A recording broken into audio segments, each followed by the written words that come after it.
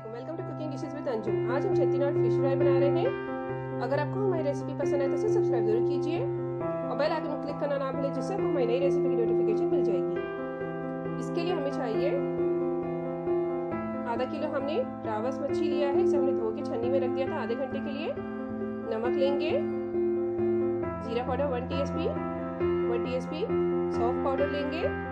धनिया powder one TSP अदरक लहसुन का paste one tablespoon half T S P हल्दी मिर्च पाउडर डेढ़ टेबल स्पून काली मिर्च का powder half T P lemon juice one tablespoon इमली का पल्प लेंगे, दो टेबल स्पून बाल में पहले हम लेमन जूस डालेंगे।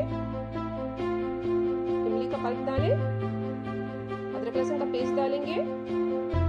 पूरे ड्राई स्पाइसेस डाल दें इसमें। ऑरेंज रेड फ़ूड कलर डाल के इसमें मिक्स कर लेना है इसे। डाल दें इसके अंदर। कर लेंगे, मसाला लगा लेंगे मच्छी को अच्छी तरह से, आधे घंटे लिए मैरिनेट करके रख देना है। तेल गरम करके पैन में हमने ये फ़िश के पीसेस रख देना है। मीडियम फ्लेम पे हम इसे शैलो फ्राई करेंगे। तीन मिनट के बाद इसे फ्लिप कर दें।